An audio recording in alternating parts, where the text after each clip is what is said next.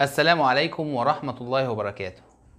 في هذه الأيام ما أكثر المسلمون ولكن للأسف الشديد ما أقل من يعرفون نعمة الإسلام. فالحمد لله على نعمة الإسلام وما أعظمها من نعمة.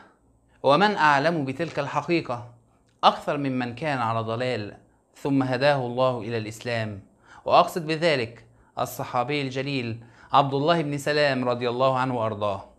كان عبد الله بن سلام حبر من أحبار اليهود ومن أعلم اليهود بالتوراة. وبعد أن هداه الله إلى الإسلام دعا ابني أخيه سلم ومهاجرا إلى الإسلام وقال لهما لقد علمتما أن الله عز وجل قال في التوراة إني باعث من ولد إسماعيل نبيا اسمه أحمد فمن آمن به فقد اهتدى ومن لم يؤمن به فهو ملعون. فأسلم سلمه.